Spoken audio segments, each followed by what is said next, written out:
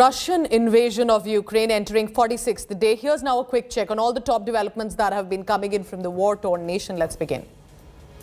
Amid a stepped-up offensive by the Russian forces in the Donbass region, 10 humanitarian corridors have been agreed upon by the Ukrainian authorities to evacuate civilians in the eastern region of Donetsk and Luhansk, as well as neighboring Zaporizhia.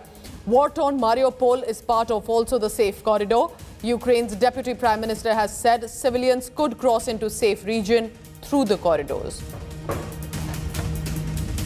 Ukraine carries out third prisoner exchange since the start of the war, bringing home 14 civilians, 12 soldiers from Russia. Deputy Prime Minister Ariana Vereshchuk has said on the order of Ukraine President Zelensky, 12 of Ukraine's servicemen are returning home, including a female officer. No confirmation yet of how many Russians had been exchanged for in this. action.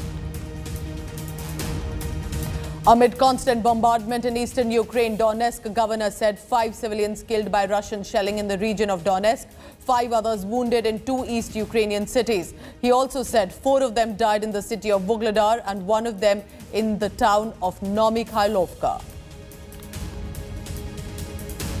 In a bid to assist Ukraine against invasion, the International Monetary Fund has approved establishment of an administered account for Ukraine, providing donors with a secure vehicle to direct financial assistance. This special account possibly will channel the donor resources in the form of grants and loans.